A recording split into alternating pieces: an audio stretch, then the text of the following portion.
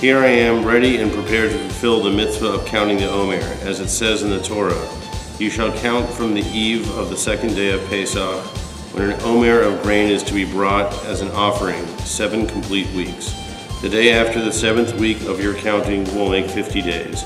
Baruch atah Adonai Eloheinu melech haolam asher kiddishanu v'mitzvotav v'tzivanu al sefirat ha'omer.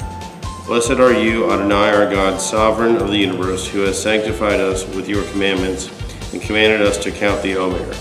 Hayom Hamishav Esrim Yom Shehem Shlosha Shavuot Barba'a Yamim LaOmer. Today is 25 days, which are three weeks and four days of the Omer.